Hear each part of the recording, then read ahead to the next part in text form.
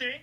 This baby never steers you wrong, and it was free. Free! It certainly has enriched our lives. Wow, win a trip to Washington, D.C. All expenses paid.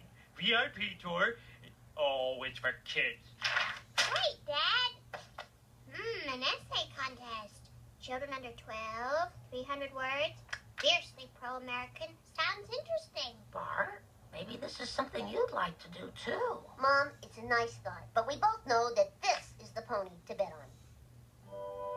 What would Ben Franklin say if he were alive today? He'd say, oh, think of a better opening. How's it going, honey? Not very well. Well, when I used to get stuck like this, I'd go for a bike ride. Do kids go on bike rides anymore? Yes. I don't know. I thought maybe bikes weren't cool anymore. Do kids still use that word? Cool? Yes,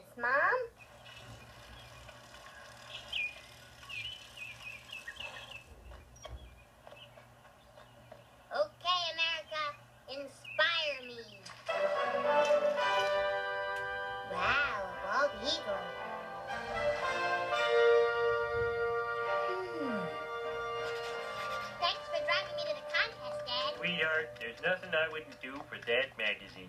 So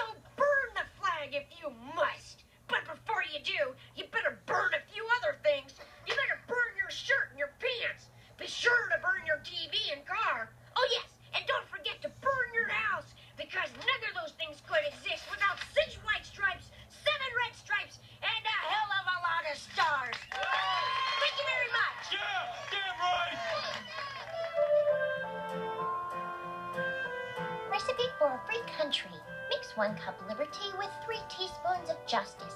Add one informed electorate. Baste well with veto power. My back is spineless. My belly is yellow. I am the American non-voter. Stir in two cups of checks. Sprinkle liberally with balances. Ding, dong, the sounds of the Liberty Bell. Ding, freedom. Dong, opportunity. Excellent schools. Dong, quality hospitals. When America was born on that hot July day in 1776, the trees in Springfield Forest were tiny saplings trembling towards the sun. And as they were nourished by Mother Earth, so too did our fledgling nation find strength in the simple ideals of equality and justice. Who would have thought such mighty oaks or such a powerful nation could grow out of something so fragile,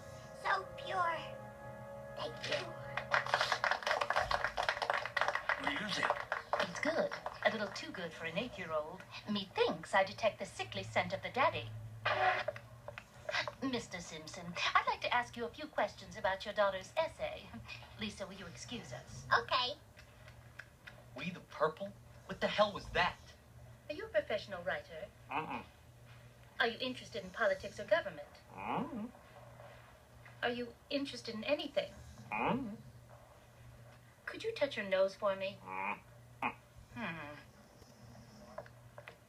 Lisa, after meeting your father, I've decided to award you an additional five points. Congratulations. You and your family are going to Washington.